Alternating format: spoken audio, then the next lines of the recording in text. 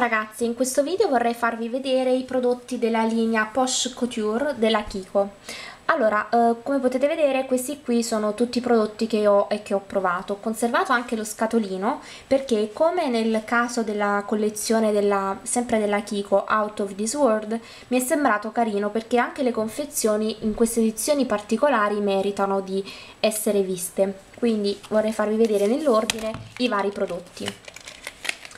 Allora, questa qui è una palette viso che è molto molto carina ed esiste in tre tonalità diverse. Allora, io vi dico subito quella che ho scelto, è la numero 03 Supreme Coral Shades. La confezione esternamente, come potete vedere, è molto riflettente perché è come se fosse in metallo. Aperta troverete un ampio specchio e tre prodotti diversi. Questo qui è un bronzer, questo qui è una cipria illuminante, questo qui è il blush. Il blush e diciamo i, i colori esistono poi in varie sfumature. Questa qui che ho scelto ha proprio questo blush corallo che è davvero fantastico, un pesca molto delicato che tra l'altro penso stia bene praticamente a tutte perché è una tonalità molto molto soft, quindi effettivamente merita perché è, ehm, è davvero una palette secondo me molto carina. Inoltre come potete vedere le cialde hanno questo disegno impresso che è davvero simpatico. Io personalmente le sto utilizzando, tant'è vero che avevo conservato le confezioni apposta per girare il video, però siccome mi dispiace rovinare questi disegni sto prelevando il prodotto dai lati, quindi ehm, almeno così per, per non rovinarlo subito. Questo qui è appunto, dicevo, lo specchio che è molto ampio, quindi è sicuramente molto comoda. Vorrei anche farvi vedere un attimo il peso, eccolo qui 22 grammi. Quindi comunque eh, è una palette abbastanza, eh, abbastanza grande. Poi ho preso due palette occhi. Allora una è la numero 02 Violet Couture. E ha praticamente le tonalità più scure.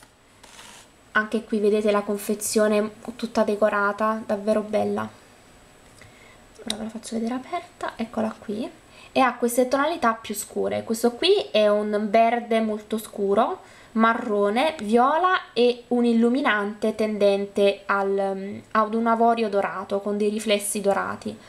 Uh, tutte le tonalità, devo essere onesta, sono molto carine, tra l'altro gli ombretti scrivono bene, però non sono troppo pesanti, quindi uh, anche se scure l'effetto finale è molto carino. Se volete vedere come appaiono uh, le, diciamo sulla pelle le tonalità, troverete le immagini nella fotogallery sul post del mio blog quindi questa qui era la palette occhi. La seconda palette occhi che ho acquistato è la numero 1 Hot Pink Couture. Ed ha invece delle tonalità più chiare tendenti soprattutto al rosa. Al rosa e al bronzo, comunque sono le tonalità più soft. Allora, questo qui è un marrone scuro che è molto simile al marrone scuro della precedente palette, ve la voglio anche far vedere a confronto così vi rendete un attimo conto eccole qui. Queste qui vedete sono le tonalità di marrone e sono praticamente molto molto simili. Vedete?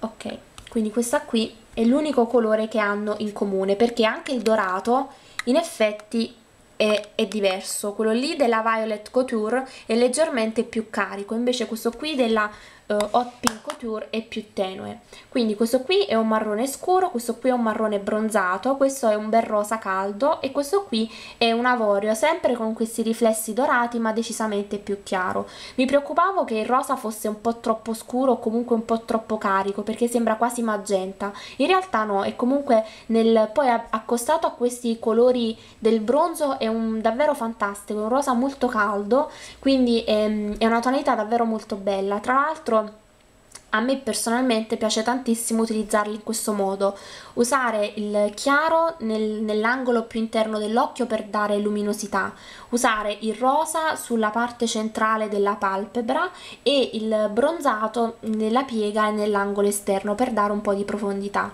Poi per sottolineare lo sguardo utilizzo il marrone scurissimo come eyeliner, però ovviamente i colori li utilizzo tutti da asciutti, quindi non, non bagno con il Fix Plus. In questo modo rimangono anche più soft. Anche l'eyeliner lo utilizzo sempre sfumato tra le ciglia però comunque utilizzando l'ombretto da asciutto. Allora questi qui sono colori che praticamente potete usare wet and dry. Infatti qui dietro troverete proprio scritto palette occhi 3 in 1 wet and dry. Quindi in effetti potete se volete all'occorrenza utilizzarli anche da bagnati. Però comunque i colori tendono a diventare più carichi. Quindi ovviamente dipende anche dal risultato che volete ottenere. Poi ho acquistato un, un eyeliner che questo qui è, è carinissimo anche perché onestamente non ne avevo visti in giro di simili ed è in effetti rosa un rosa lilla. Vi dico anche il numero è il numero 02 iridescent lilac. Ed è un, un colore davvero bellissimo